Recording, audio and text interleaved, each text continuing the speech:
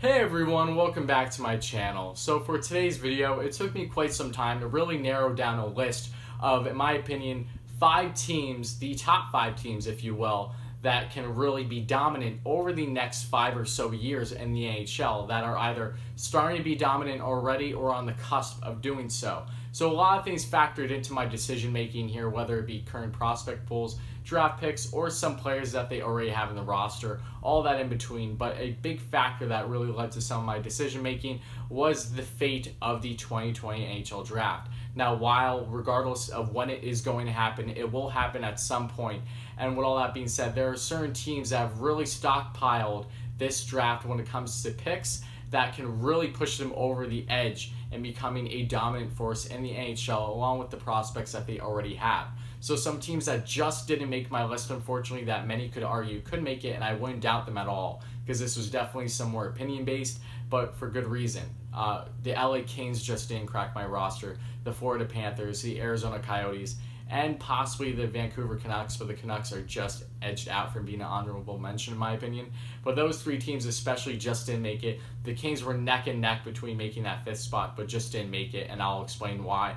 But they have some fantastic young talent on that team. Ones that have really been eye opening, in my opinion, are, of course, Gabriel Vilardi, what he's done in a short stay in the NHL. I'm a big fan of Arthur Kaliyev, who's a big prospect for the LA Kings on the offensive front, who I don't understand why he slipped in the second round last year in the draft, but he did. And there are plenty of others too, but those are just some that I personally like a lot. And then when it comes to the Florida Panthers, Grigori Denisenko looks like he can be a goal scoring machine on the offensive front for the Florida Panthers in their future. Big fan of his, and I also am a fan of Owen Tippett and the Finnish centerman, who I don't want to butcher, butcher his name, but I'm a big fan of his as well. And then, of course, when it comes to Coyotes, you you have guys like Barrett Hayton and you have Victor Soderstrom on the defensive front. A lot of things to like there. But with all that being said, those are guys that just didn't make my list. So here's why. Starting at number five, I have the Montreal Canadiens. And while the Canadiens may not stack up much better than say the Panthers or the Canes when it comes to prospects. And by the way, at the end of this video, I will have a video regarding certain prospect pools, so make sure you check that out because that'll go more in depth on these certain prospect pools of the teams I'm talking about currently. But when it comes to the Canadiens, especially, they have 14 picks in the draft this year. That is the best in the NHL. Even though they only have one first round pick, they have a total of nine picks, I believe, in the first three rounds, which is ridiculous. So they have a lot that they can do and take um, take advantage of a very deep, arguably the best NHL draft in history that has yet to be made given the prospects development and time. But that that's something that's been thrown around for a while and rightfully so with just how deep this draft is. But the Canadiens have a chance to make some big moves and if you look at their current roster, they have guys, of course, like Nick Suzuki, who's really thriving in his rookie season. Ryan Poehling, when healthy, looks like he can be a big part of their offense going forward. And then you have guys, of course, like Max Domi and Jonathan Drouin, who I'm a big fan of Max Domi especially. So, and when it comes to Drouin, it all depends on him being healthy and what his ceiling really can be. But with all that being said, you also have guys, of course, in their prospect pool, whether it be guys like Cole Caufield, who is a fantastic goal scorer, who looks like he will be a crucial part to the Canadiens' future, and sooner than later, hopefully, my guess is within the next year or so. And then you also have um, Alexander Romanov, who looks like he's going to be signing with the Montreal Canadiens, leaving. Um, CSK Moscow in the KHL to sign his entry level deal. I don't know if that's been made official yet, but I have seen reports on it, and he looks like he is going to be big for them, especially on the blue line. They have other prospects too, too, but there's just a lot to like. And then of course you can't forget guys like Jesperi Kotkaniemi and Cayden Primeau, who looks like he will be the next big thing in goaltending for the Montreal Canadiens once Carey Price's time there is done.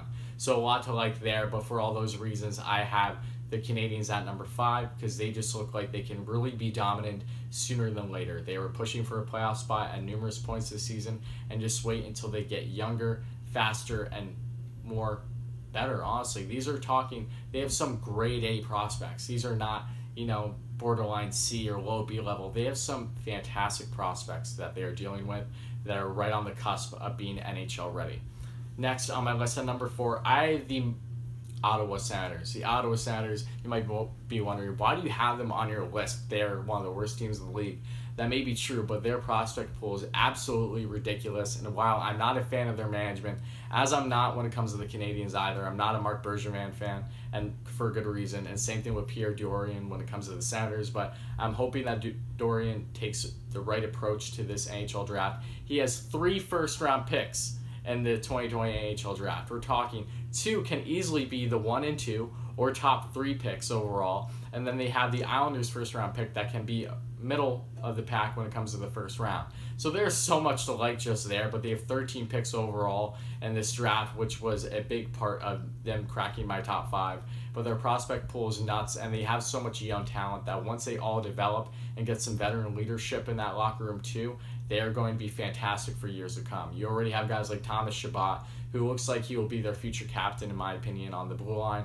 You have Erik Brannstrom, who, when he really develops in the NHL, he looks like he can be a very strong offensive minded defenseman. And then you have guys like um, Drake Batherson, who looks like he will be huge on the offensive front for them. You have Brady Tkachuk, who's been fantastic since being drafted by the Senators. And you have Logan Brown, a big bodied centerman who looks like he will be a crucial part to their success in the future, too. And you can't forget Colin White is still there. There's all these guys that you kind of forget about it seems like they've been around for a bit now, but they're so young. Even Anthony Duclair, you know, he's a solid 20 plus goal scorer for them. He's still relatively young. So there's just so much to like there.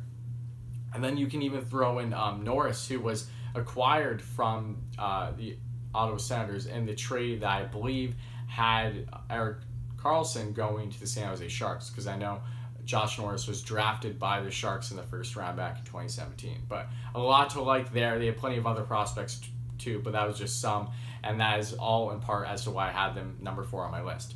Next at number three, I have the Carolina Hurricanes. I love the Hurricanes. I love their roster. I love so much about them.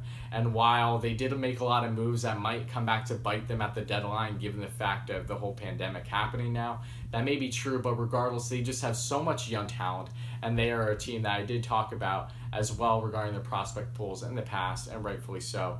But you have so many guys, whether it be on the roster now, like Andrei Svechnikov, who has yet to even get clo- remotely close to what his peak is going to be in his NHL career. Same thing with Sebastian Aho, two young dominant players. Teuvo Teravainen, who's been killing it for quite some time now, who's really underrated in my opinion.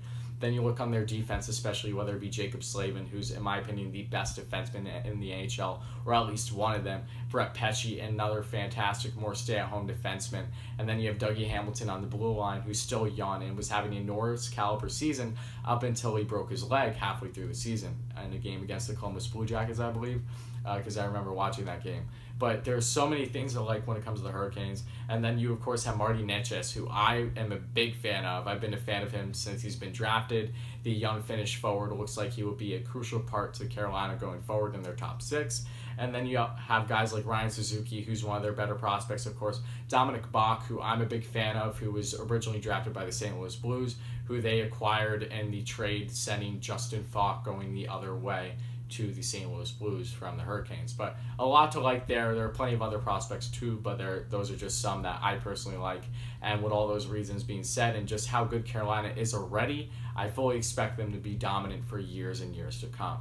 Which leads me to my second um, uh, number on my list. Number two on my list is the New York Rangers. Yes, I am a Rangers fan, but even with being a Rangers fan, I can't be biased here. And while I would love to put them at number one, you'll understand why I didn't after I talk about them. But the Rangers, so happy with the moves that they have been done. They have been viewed as the team to really look at how to set up the foundation of doing a rebuild and a retool type scenario. They've only been in this for about three years or so now, and they have done a fantastic job with Jeff Gorton and now uh, new president um, Jay, um, John Davidson. They have done such a great job for them. If you look at what the team currently looks like, they have a mix of youth and some veteran leadership. Artemi Panarin leading the way, um, being fantastic in his first season with them. But then you have rookies who have yet to blossom, whether it be guys like Kaapo Kakko, Vitali Kravtsov. You have guys in the still um, a little bit from coming to the NHL, but sooner rather than later. And Nils Lundkvist, their top prospect, defensive prospect. Um, K'Andre Miller, who signed his entry level contract with them, which I did a video on not that long ago too. fantastic um, big body two way uh, defenseman, and you have all these other guys too in between that just look like they're going to be fantastic for the Rangers going forward. And with all that being said, too, you have, of course, on the blue line currently, you have guys like Adam Fox, who has been amazing in his rookie season, that does not get enough credit, in my opinion. But that's with me being a Rangers fan, so take that as you will. But Tony DeAngelo has been fantastic on the offensive front um, for the blue line for the Rangers. Jacob Trouba hasn't been fantastic, but hasn't been necessarily too much of a liability either. And Ryan Lindgren, another young defenseman in his rookie year, along with Adam Fox, that pairing has been one of the best young pairings in all the NHL. So there's so much to like there. And Filip Chytil, too. I'm forgetting about Chytil when he's been in the league for a couple years now. He looks like he will be big for the Rangers in their top six going forward. There's just so much to love when it comes to the Rangers roster and their future. And I know that they have plenty of other fantastic prospects still in their ways away from being up to the NHL level. But with all those reasons being said, and the fact that the Rangers have 10 for 10 um, picks in the draft this year, including two first round picks, that all went in part to me picking them at number two on my list. And the Hurricanes have seven picks in the um, draft this year, by the way. And they have zero first round picks because the Rangers acquired their first round pick in the trade for Brady Skjei at the deadline earlier this season. But now at number one on my list, I have the Colorado Avalanche. The Avalanche are just an amazing team to watch night in and night out. And when they're all healthy, who knows what they're capable of? Because that's been their biggest problem this season injuries. But if you look at Nathan MacKinnon, is still so young. He's only 24 years old. You have Mikko Rantanen right there. Um, I wouldn't say Landeskog is old yet, but he's one of the older guys in that locker room, surprisingly. Andre Burakovsky, I'm a huge fan of, really big fan of his. And you have all these other guys in the lineup, whether it be Tyson Jost, who really hasn't shown much yet with how deep this team has been. You have other guys on the blue line, like Ryan Graves, who I'm a big fan of, who was originally drafted by the Rangers. You have Cale Makar, who's leading the way on that defense as well. And then, of course, you have the goaltending that's been up and down due to injuries, but overall, it's not terrible. And their prospects are just ridiculous with Bowen Byram leading the way on the defensive front as their number one prospect and one of the best prospects in the league. You have Alex Newhook, who I'm a massive fan of, who was just named uh, Rookie of the Year in college for BU this this year, which is fantastic for his case. I love his story too that led him to being drafted.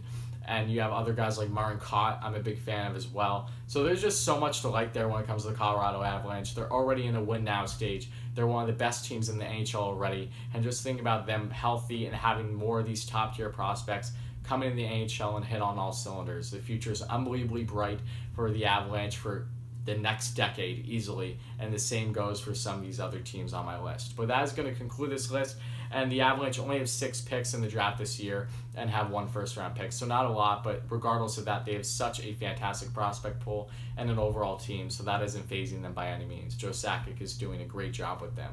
But like I said, with all that being said, that is going to conclude this video. So let me know what you think in the comments below. If you agree, disagree with me, maybe wonder why I didn't pick certain teams to make my list. I would love to hear your feedback. And please also make sure to check out the other videos I have right down here below, including the prospect pools video, among other things. So once again, thank you all so much. Please like, subscribe, comment if you like this video, and I'll be back in a day or two.